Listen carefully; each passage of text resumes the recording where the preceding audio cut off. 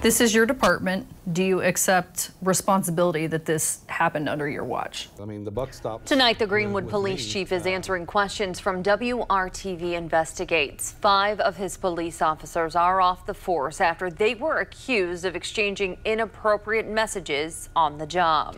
Our Kara Kenny explains how it happened in the first place. And why the city is now hiring a consultant. Five officers are gone. What message do you hope that sends? Well, I think it sends a very clear message that this isn't the culture of the Greenwood Police Department. We're not going to tolerate this type of behavior. Jim Ison is the police chief at the Greenwood Police Department, an agency that's faced scrutiny in recent months after five officers were accused of exchanging obscene messages on their department laptops. This is your department. Do you accept responsibility that this happened under your watch? Absolutely. Uh, I mean, the buck stops with, with me.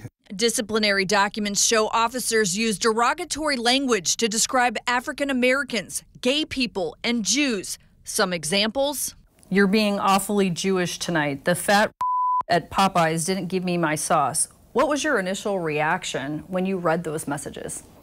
Disgusted, um, upset. The chief says he first saw the messages in July after the city's legal team preserved them as part of a federal lawsuit filed by then officer Sam Bowen. Bowen's lawsuit alleges Chief Ison retaliated against him for making Facebook comments that criticized the department and the chief. The city fired Bowen earlier this month because his messages violated department policy.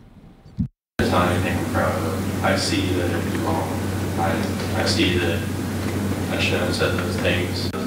Dealing with stress or looking for a way to relieve it. That's the way I was taught to relieve it. I was young, I was valuable. I was taught this is the way we do things. Do you think it's part of the culture? I do not. I do not. I, I, I think that these were five bad actors. Can you say anything about the allegations in the lawsuit, the retaliation?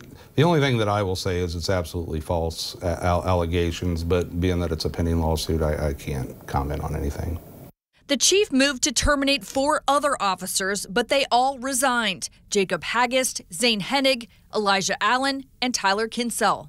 Would you consider this a black eye for the department? There's no way around it. It absolutely is. How did this even happen in the first place? Was there not enough oversight? Uh, we typically don't review the officer's instant messages.